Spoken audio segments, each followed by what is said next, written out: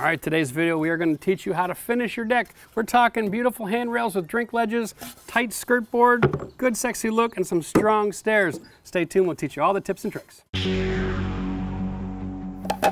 Very important when it comes time to do your skirting, to know which kind you wanna go with. Here, we're gonna go with more of a solid skirt.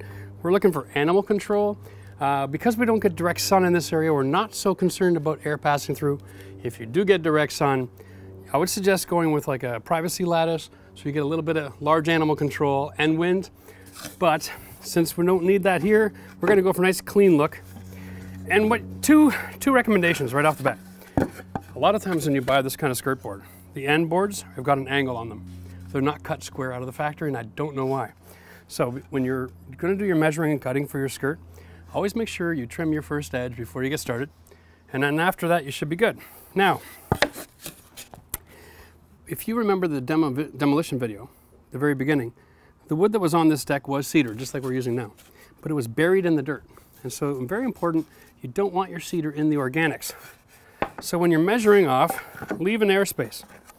And when you come to finish this, if you want to finish garden and you don't want to have an airspace there, go and get some clear stone, pebbles or river stone, and use that to build up behind your gardens, up against your, your deck if you want to close off that animal trap. Don't ever push your dirt back up against this. You're going to promote rot, and then you're just going to shorten the lifespan of your deck. That works. I've got a nice gap under here. I can get my hand underneath. The other thing you want to think about is, decoratively speaking, you don't want to have them meeting up like that. You want one covering the other.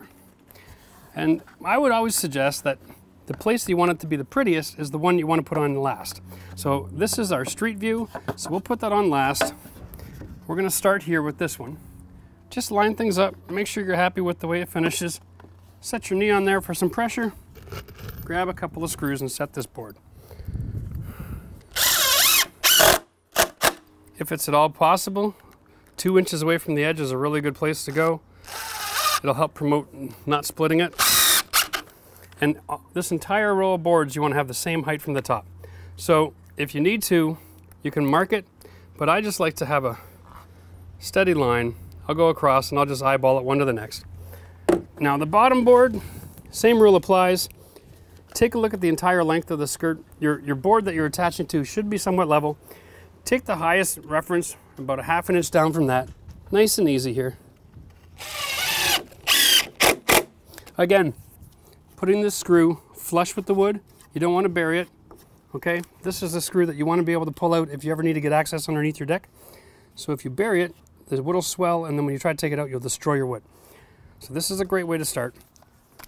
And then you'll be fine to access underneath the deck if you ever want to get under there for any reason. The reason we're starting at the outside corner with a full board is so that it's pretty. Pretty is important, which leads me to the next point. When you cut your board, you'll have one clean side from your saw blade, and you'll have one rough side. Install the clean side out.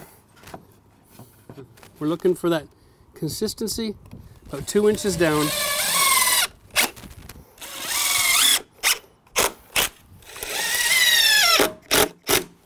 So just the last couple of finishing touches here.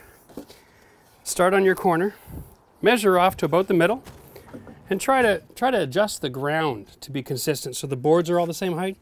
You don't want to have to cut every board up and down. Just take a shovel and clean a trough. Put this in consistently. When you get near the middle, stop, start at the other end with a full board and come towards the middle again.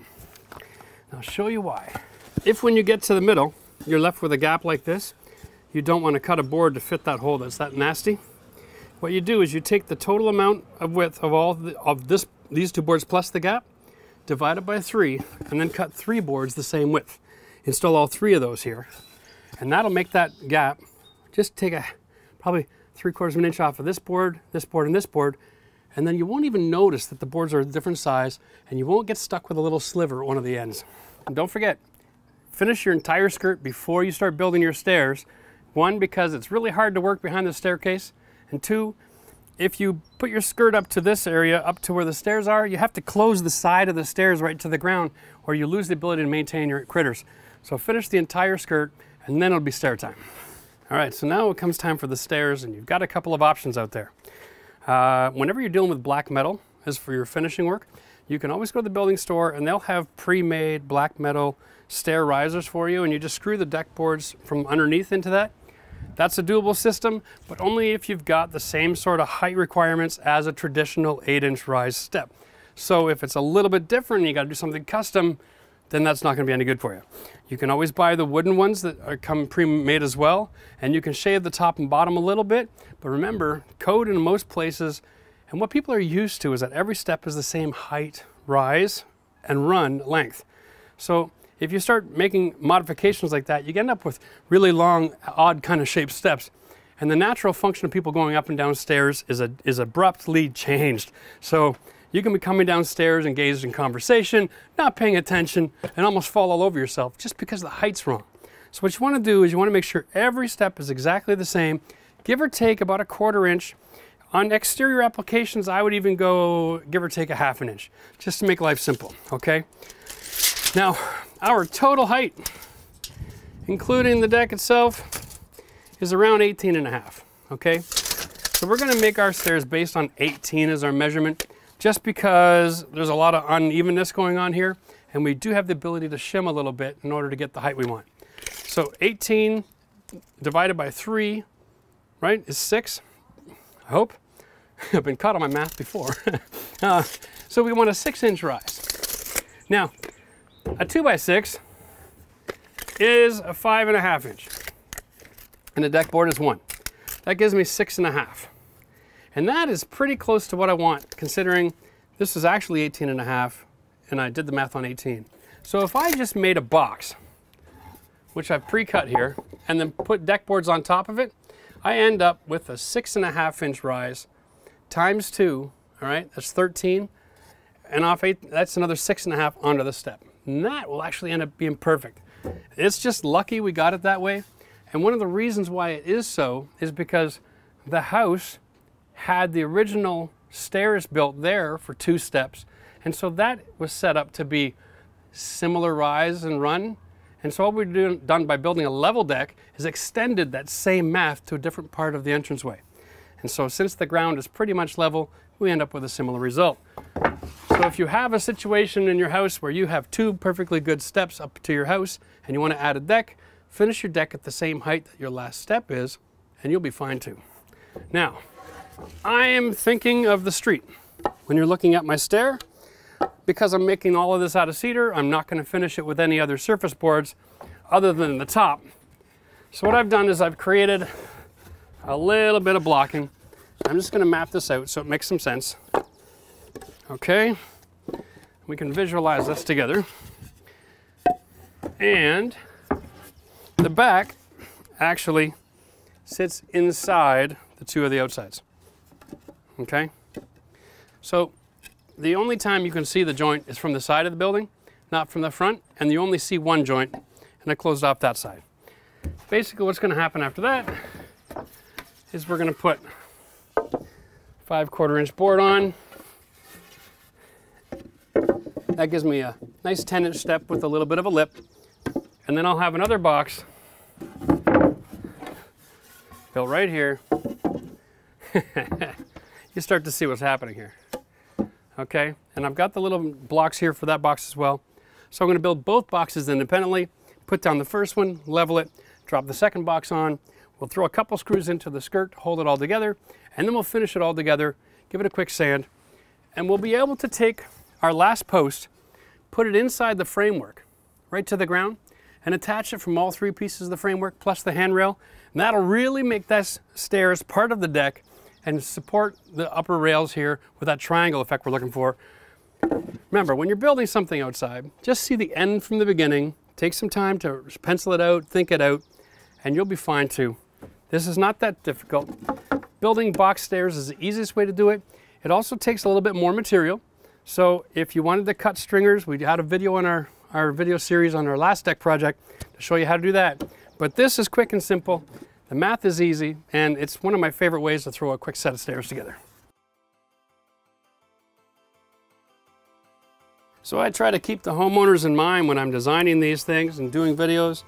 I try to use the same sort of building materials and tools you're gonna have access to. There are faster ways to build framing, And you can use air tools and all that sort of thing with the proper exterior fasteners. But to be totally honest, I know most people don't have access to those kinds of tools. And why would you? How often in your life are you going to be framing a deck?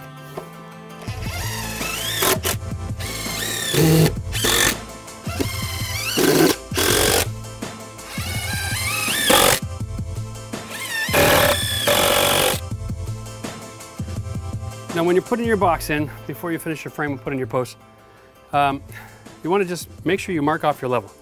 All right, so before we get going, we have framework in behind that we've attached our skirt. So we're using three inch screws to tie in. We're gonna foil five or six in there just for safety. Make sure we got at least four or 500 pounds worth of uh, shear strength on those screws. And then we're gonna take this level off.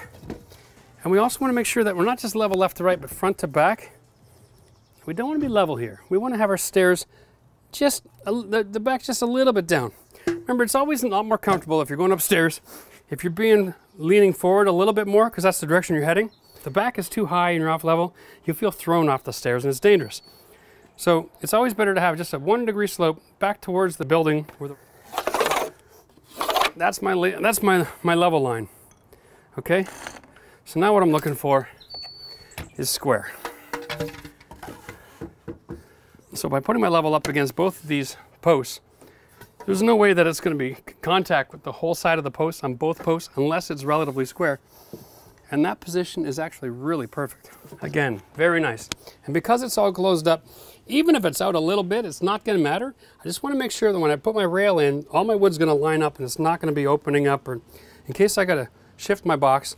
Remember, if it dries a little bit twisted while you're building, putting your stairs a little bit off square may actually help you to solve the problem with making sure your, your lumber on your railings is all nice and tight.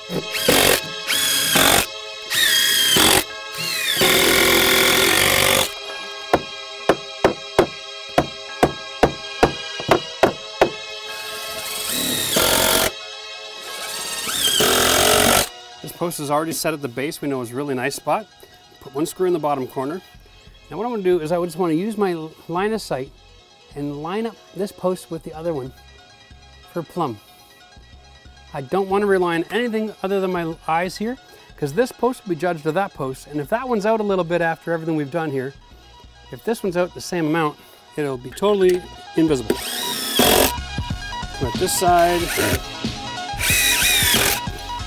I'm getting a little bit ridiculous with how many screws I'm putting in. and I'll show you why I'm doing this. The same reason we did it in the um, deck with our posts. All right? I want to attach this to the box. Okay? So now, I'm not relying on the screws if someone is pulling on the rail this way. I've actually got blocking. So I'm multiplying the amount of points of contact that the screws have and making it very, very difficult for that wood to be pulled apart. I dare say you won't find anybody who's able to just walk over and rip this apart. They're gonna need some serious tools. So now this post is built into the frame. The frame is attached to the frame of the deck, and that is really, really solid. When I get the handrail on there, it's going to be invincible. Testimony to the guy that put these pavers down originally.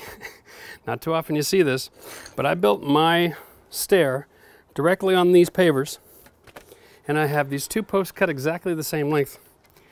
And they're sitting on the paver inside the box. Screwed them together. Check that out. Folks, if you start level, you build level. So once I've cut my trace piece out, I'm gonna bring it over here. I'm gonna line up my holes. I'm gonna eyeball that just for posterity. And I'm gonna bring that mark across. Now, this is my bottom coming from the rail. Okay, I'm gonna line that up like that. And I'm going to extend that trace line. And you can see that it'll actually make some sense. So that's where it goes. Okay, you see how my line is perpendicular? And if I was to lift that straight up in the air, that hole will be directly above that hole. The gap remains constant. Now that makes a little bit more sense, doesn't it? So we'll cut it on the same angle.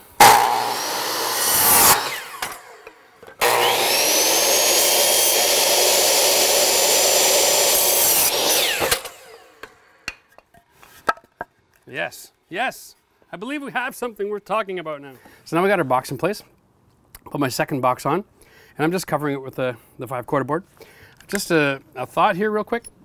The framework on the second box isn't lined up in the same place as the first box. So when I'm putting my screws in, all my screws are gonna follow all the way up. Just a thought, because people see the screw heads, so it's gotta be considered as part of the design element, or it'll be really noticeable. And of course, like with any softwood lumber, when you get near the edges, you gotta burn it in the wood.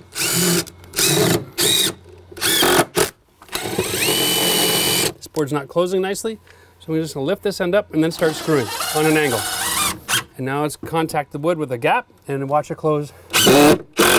There we go. So I made all my boxes the same size. I cut all my floorboards first. I'm lining up. So when I'm building this and I have to work my way around, I gotta do a little jigsaw work. I can set my 2x4 here and make sure that all my boards are flush before I make my marks.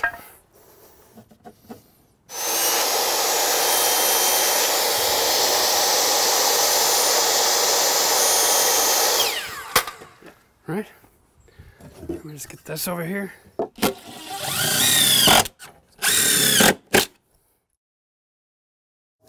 What we're going to do right now is demonstrate a simple railing system that is uh, attractive and forgiving, which is important. Um, it's also incredibly strong. So what we have is our 4x4 posts. And remember our rule, as long as we're installing things really strong in the base and relatively plumb, we can manipulate the tops to close. So we always cut the bottom and top of our rails the same, even on the stairs. Don't get into that habit of trying to trace the top rail and cut it separately. Just cut the bottom, invert the board, follow the line, trace it out, just like this. So what we do, same thing, right? We dropped it on, we traced it. I got my measurement. Now I'm going nosing to nosing to get my measurement, okay? Because that's a great angle to work with. It's easy to work with. And then I'm taking off that half inch for the depth of our caps, okay? Now I've got that board, and you can see that my pieces are different. I've lined up the holes, I roll them over, I trace that bottom line across the top board and then I cut it. Now I've got my bottom and top and you can double check, set them on there. They should be pretty straight. If they're not, don't worry, we still have that forgiving effect of the screwing it all together. Now what you want to do is just screw your end caps on. Now for the bottom rail, I suggest going flush with the top. And with the top rail, make sure you're not sticking higher because you're still going to put a 2x4 cap across this. So make sure you're no more than flush, all right? Once you get all those screwed together, we can assemble the railing. These, uh, you can see this cap is very forgiving for putting a, a screw on an angle. It'll still sink flush, so you weren't gonna have any problems with that. I think the idea is, is they're trying to make that screw long enough to operate even 40 years from now when the deck is completely rotted out. These screws are still gonna be holding on to something. It's a little bit overkill, but overkill isn't all that bad of a concept. So for assembly, your bottom rail, although we use the, the nosings to rest it on in order to set the angle, lift it up about an inch, get it off. The less wood-to-wood -wood contact you have in your deck, the longer it will last. And drive that cap screw in there. I'll set this and get rid of the twist. Whoa! These are awesome.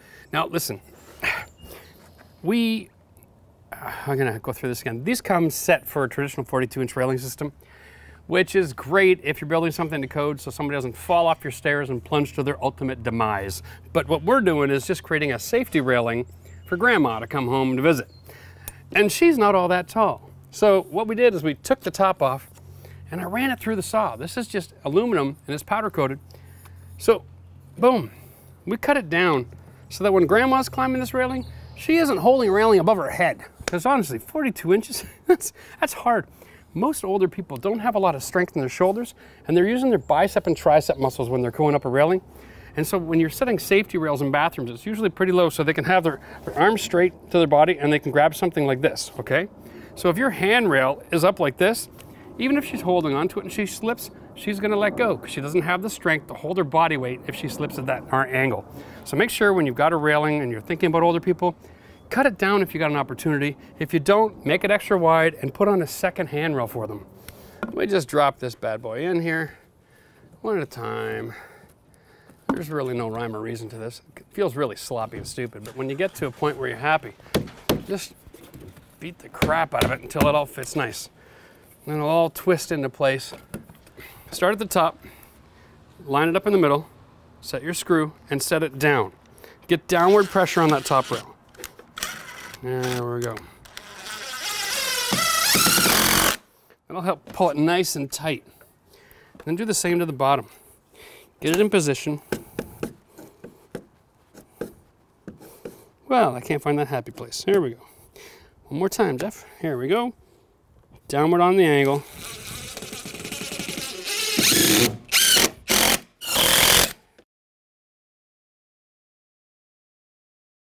So we have our entire railing system set up at 31 and a half degrees. So in order to do the top plate, the first thing I want to do is cut one end at 31 and a half degrees. So what you want to do is just get down here, close one eye, get a weird look on your face, line that up, and then mark it. When you get back, line up with your 31 and a half degrees because it'll be exactly the same. All right, and this point here and this point here should be the same as the bottom. If your mark on the pencil is wrong, go with the longest part of your mark. And then we'll double check. Because if you cut it too long, it won't fit into place. And it won't. But that's fine because I can cut it shorter. I can't cut it even longer the second time. Makes sense? Ooh, no daylight through there. That is perfect. Loving it. So what I'm going to do is I'm going to just create flush to flush here and here. Relatively speaking. I'm going to trace this. Oh, that was really well done. That was really, see, what, how many, what would I give for three hands? All right. Do the same on the other side. Flush to flush. Now in a perfect world, this post would be just a little bit taller. But this is why the system's forgiving. Because we're using a five quarter board to cap all this. So I got an inch overhang, overhang. And as you can see over here, it extends so far past the post that there's no traditional line of sight where you can see if you have any minor gaps or anything around. So it really is forgiving for a junior carpenter such as myself. This is the part of the job where I really piss off the safety trolls. yes, I'm using my saw without a pair of glasses because I like to be able to see what I'm doing when I'm doing crazy things like this. Now I'm gonna line up my cut. I'm holding my, my safety blade, my uh, guard out of the way. I'm gonna line this up and I'm gonna go for it.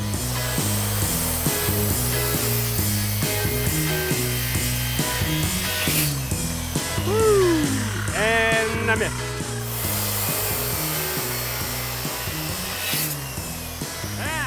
Better.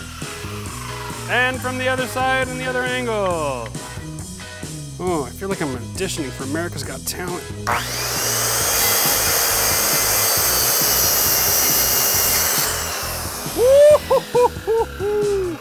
Look at that. What do I, do I get a golden buzzer?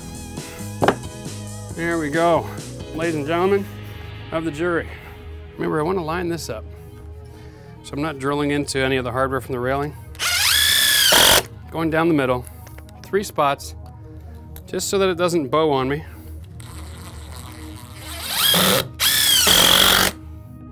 My battery's starting to run a little bit low. Let's get this really perfect. A little torque. I'm gonna take this one extra step. I'm gonna put it right into the post help line it all up. All right. It's not really necessary, but I usually put a screw on the side to tie to this post too. But I'm noticing that my 2x4 has got a natural occurring crack. If I throw a screw in it, it's just gonna make it split. So I'm gonna leave it alone. Here's my top plate. I need my 31 and a half degree angle. If I measure like this, I'm actually gonna have something a lot longer. So if you wanna measure this one, the way you do it is you roll it over and you put it up. Now you're measuring top side to top side. Okay, there we go. Cut it. And now we'll put our 45 on, cut our corners.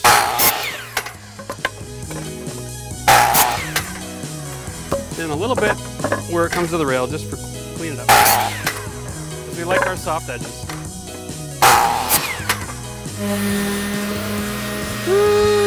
Look, Mom, I'm without a mask.